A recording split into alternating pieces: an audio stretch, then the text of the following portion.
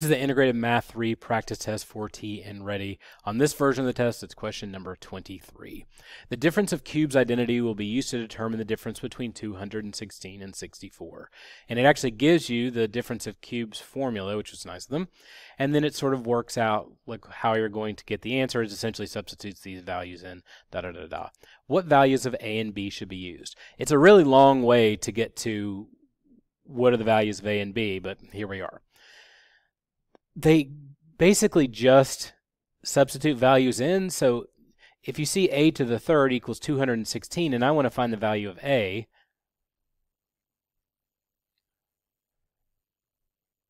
I'm just going to find the cube root of 216.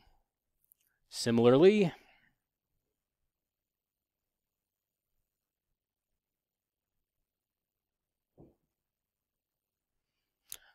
I'm going to find the cube root of this the nice thing, I mean, you may just know them. I know that 4 times 4 is 16, and times 4 of that is 64, so I know that this answer is 4.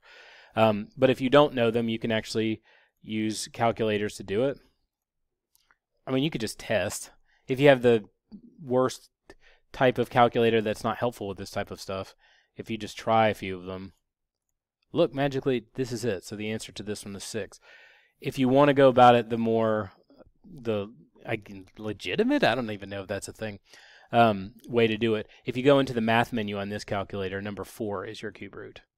So 216 equals 6, and then 64, 6 and 4.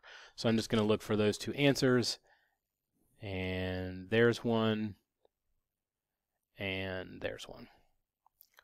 And that's really all you have to do where are they getting some of these numbers? Well, for b is 8, they may be just taking the square root of 64. Okay, that's fine. For 16, I would imagine that they